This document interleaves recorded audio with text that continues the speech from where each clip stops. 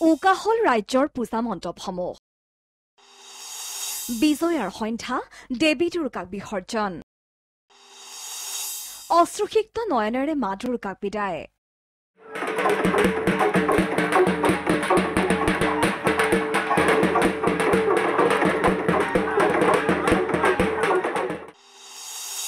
ষষ্ঠীৰ বেদীত প্ৰতিষ্ঠা কৰা শক্তিৰ অধিষ্ঠাত্ৰী দেৱী দুৰ্গাক অশ্ৰুসিক্ত নয়নেৰে বিসৰ্জন।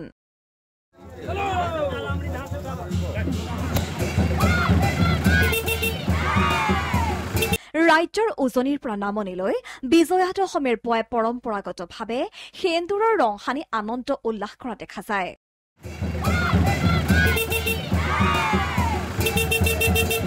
দেৱী বিসৰ্জনৰ বাবে ঢাক ঢোল বজাই আনন্দ উল্লাস কৰি সুশৃংখলিতভাৱে লৈ যোৱা হয় নৈৰ ঘাটলৈ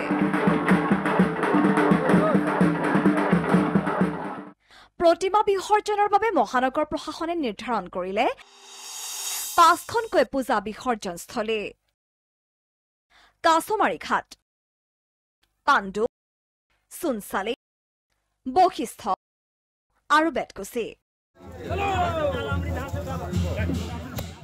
এয়া কাছমাৰী ঘাটৰ বিসৰ্জনস্থলীৰ দৃশ্য। ব্ৰহ্মপুত্ৰৰ জলপৃষ্ঠ হ্ৰাস পোৱাৰ বাবে পূৰ্বতকৈ এইবাৰ প্ৰায় সাতশ মিটাৰ দূৰত নিৰ্মাণ কৰা হৈছে বিসৰ্জনস্থলীৰ।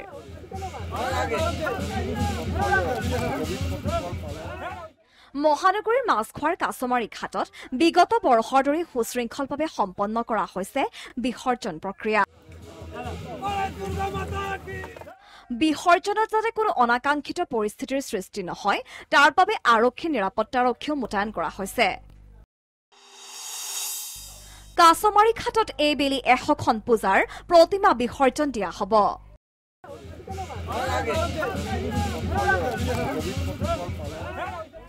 ইফালে গুৱাহাটী মহানগৰীৰ পাণ্ডুঘাটতো উখল মাখল পৰিৱেশ।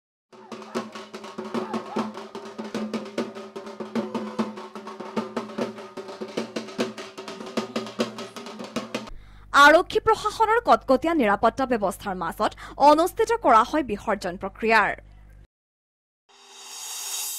ষষ্ঠম N D R F S D R F বাহিনী। ষাঠিজনীয়া প্ৰতিমা বিসৰ্জন পাণ্ডুঘাটত। কভিড প্ৰটকল অনুসৰি নিশা ন বজালৈকে অনুষ্ঠিত হ'ব বিসৰ্জন প্ৰক্ৰিয়াৰ।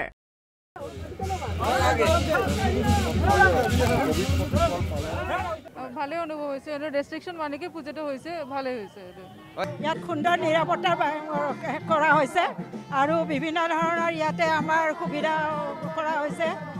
নিৰাপত্তাৰ যিখিনি কটকটীয়া আমাৰ ক'ভিডক লৈ পেলাই যিখিনি কৰিব লাগে গোটেইখিনি কৰা হৈছে। ইফালে এই দৃশ্য আকৌ মহানগৰীৰ বশিষ্ঠ নৈৰ বেতকুচি ঘাটৰ। বেতকুচি ঘাটত বাসত্তৰখনতকৈ অধিক পূজা কমিটিয়ে বিসৰ্জন দিব প্ৰতিমা। নিৰাপত্তাৰ ক্ষেত্ৰত কোনো ধৰণৰ ক্ৰুটি নাৰাখি চিচিটিভি কেমেৰাও সংস্থাপন কৰা হৈছে। বিগত ত্ৰিশ বছৰে অগণন লোকৰ সমাগম হোৱা বেতকুচি ঘাটত বিজয়া দশমীৰ দিনটোতো উখল মাখল পৰিৱেশ। একেদৰে মহানগৰীৰ চুনচালি ঘাটতো ৰাইজৰ পাৰ ভঙা উৎসাহ দেখা পোৱা গ'ল।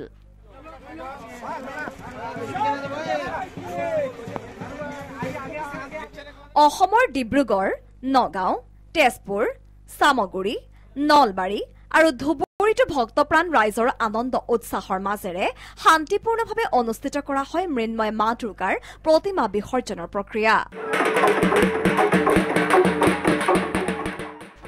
আৰু এইদৰে ষষ্ঠীৰ পৰা শাৰদ বন্দনাৰে সৃষ্টি হোৱা উদুলি মুদুলি পৰিৱেশৰ ওৰ পৰে আজি। News desk report news തൈമഹോം